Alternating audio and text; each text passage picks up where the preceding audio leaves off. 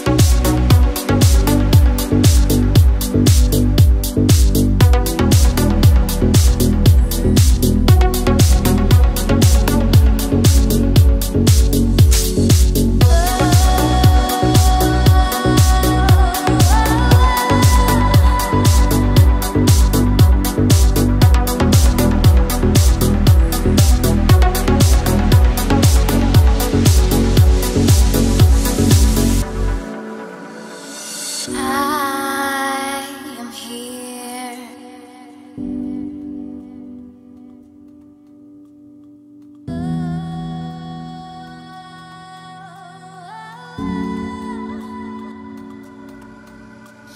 a precious voice and gently tied.